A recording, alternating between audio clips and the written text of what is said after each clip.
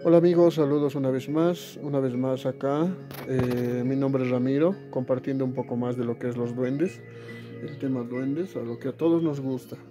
Bueno, pues eh, muchas veces siempre van a escuchar malos comentarios sobre los duendes, que he tenido duendes en mi casa, eh, muchas veces he escuchado esos comentarios. Lo que pasa es que los duendes siempre han estado en tu casa.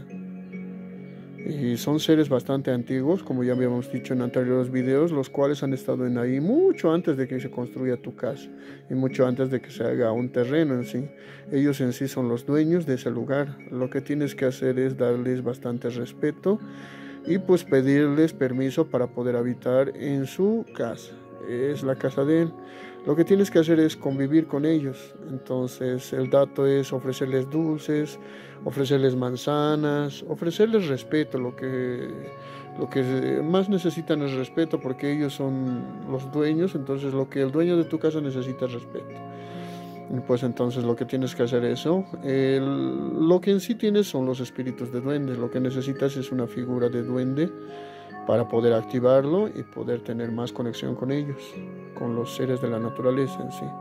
Entonces lo que tienes que hacer es buscar un ser de la naturaleza, una figura de un duende y poder activarlo y como te decía, tener más conexión con ellos. Otro dato interesante es que muchas veces escuché el comentario de que muchas veces te trenzan el pelo, escuché muchas veces de que eh, se roban bebés, son malos, los duendes.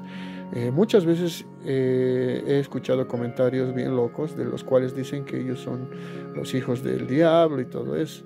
Bueno, pues les aclaro algo bien interesante. Estos seres han sido creados por Dios eh, para cuidar los tesoros de la naturaleza. Y ellos han sido creados mucho antes que nosotros los humanos.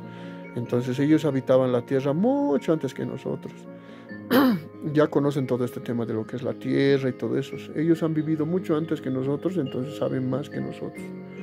Entonces lo que nosotros tenemos que hacer es darles respeto, como a nuestros papás. Ellos han estado mucho antes que nosotros en la tierra, saben más, han vivido más, entonces lo que merecen ellos es respeto. Lo mismo pasa con los duendecitos. El otro dato interesante es que ellos no son seres malos, muchas veces son desorientados porque no tienen a nadie que los conduzca. Entonces lo que pasa es que ellos están de traviesos, mayormente son traviesos. Y en cuestión de que mayormente, o sea, hacen daño, eh, averigüen bien, no son duendes, son otra cosa. Sería bueno que averigüen qué está pasando en su casa porque los duendes no son malos. Eh, no he visto casos de duendes malos. Personalmente eh, yo tengo duendes y no he visto casos malos. Entonces lo que pasa es eso. Eh, muchas veces hay mucha desinformación por este tema de los duendes. Lo que sí, los duendes, como les decía, son seres creados por Dios para cuidar todo lo que está en la naturaleza. Y pues lo que hay que hacer es, como les decía antes, darles mucho respeto, darles un espacio en tu hogar para que ellos puedan habitar y puedan estar a gusto contigo y al mismo tiempo te puedan ayudar en lo que estás buscando y lo que te está haciendo falta. Y ese es un buen tema para lo que es desinformación, para tener algo bien en claro. Estos seres han sido, como les decía, creados por Dios. Los duendecitos son un poco muchas veces traviesos, hacen cosas que muchas veces nos molestan. En ese caso lo que hay que hacer es hablar con ellos, decirles por favor ya no hagas esto, eh, necesito un poquito más de, tu ayuda, colaborame, ayúdame con esto. Y muy importante es lo que es activación, muy importante para que ellos tengan una dirección y tengan un trabajo por el cual conducirse. Entonces muchas veces eh, nosotros no tenemos esa información. Entonces lo que pueden es acudir a lo que es YouTube. En YouTube hay muchos videos donde te enseña cómo activar a un duendecito. Hay muchos métodos para activar un duende. Eh, cualquiera funciona. No, ninguno es mejor, ninguno es peor. El mejor que te parezca es, es el más bueno. Entonces lo que puedes hacer con ellos eh, de, ahí en adelante es conducirlos para que te puedan ayudar. Mucha gente quiere duendes, pero no puede tener duendes por el tema de que ya habíamos mencionado en videos anteriores que tienes que ser elegido por un duende. Pero si no eres elegido, vanamente estás buscando un duende porque por ahí lo compras al duende o lo consigues o te lo regalan o algo. Entonces, si no te ha elegido, él va a terminar eligiendo a otra persona y tú se lo vas a tener que dar el duende. Eso pasa muchas veces. Entonces lo que tienes que hacer es atraerlo. Y para atraer a un duende lo que tienes que hacer es preparar su espacio, eh, ayudar a lo que es la naturaleza y todo eso. Entonces estos seres se enojan cuando nosotros, o sea, más lastimamos a seres pequeños, a los niños más que todo. Los niños son seres indefensos que no se pueden defender. Entonces muchas veces nosotros los lastimamos y ellos se enojan por ese tema porque ellos han sido creados para cuidar todos los tesoros que son en la naturaleza. Entonces los tesoros de la naturaleza mayormente son los niños, los animales pequeños y las plantas. Y si nosotros dañamos eso, ellos se van a enojar.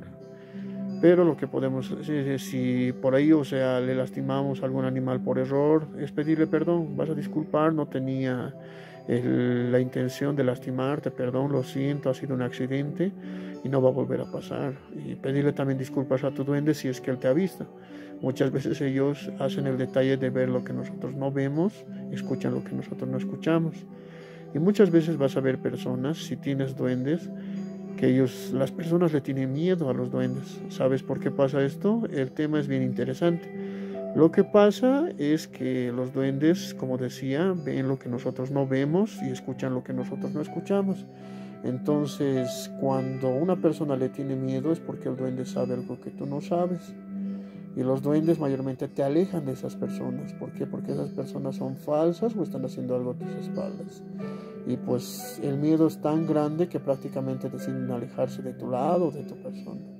Entonces no, no pienses mal, no pienses que el duende te lo ha alejado, al contrario, te ha hecho un favor alejando a esa persona falsa de tu, de tu vida y de tu lado. Entonces en lo personal a mí me han alejado de muchas personas que yo creo que hacían muchas cosas a mis espaldas. Y entonces lo que pasa es con ellos eso. Ellos ven lo que nosotros no vemos y escuchan lo que nosotros no, no escuchamos. Y por ende muchas veces las personas les tienen miedo porque ¿qué siente una persona cuando la otra persona sabe algo que tu otra persona no sabe? Es miedo. Entonces eso pasa con ellos. Entonces, como les decía, los seres más sabios y los seres más antiguos son los duendecitos y lo que hay que tenerles es bastante respeto y cariño. Cuando tengas uno, dale lo que es bastante cariño, habla con él, conversa, mostrarle lo que necesitas, dile que te ayude a conseguir eso y por último haz el detalle de entenderlo y atenderlo y si te pide amigos, conseguirle amigos, comprarle amigos, buscarle amigos, si te pide juguetes, dale juguetes, si te pide agüita, vino, leche, dale lo que necesita. Eh, son como nosotros, son seres que netamente necesitan atención, necesitan lo que es eh, más que todo que los conduzcan. Esto es un buen detalle para tenerlos a ellos. Y lo que puedes hacer es eso, darles atención. Este es un video más para todos ustedes. Un saludo cordial para todos. Mi nombre es Dan. Muchas, muchas gracias por haberme escuchado. A ver si le dan un like a mi videito si les gusta. Y si les gusta también pueden compartirlo. Muchísimas gracias.